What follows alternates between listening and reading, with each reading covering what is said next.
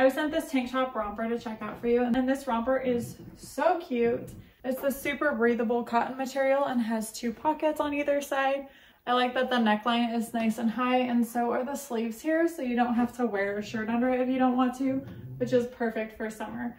Now the length of the legs on this one are a little bit short for me. I do have a long torso though, so generally I have an issue with how rompers fit me.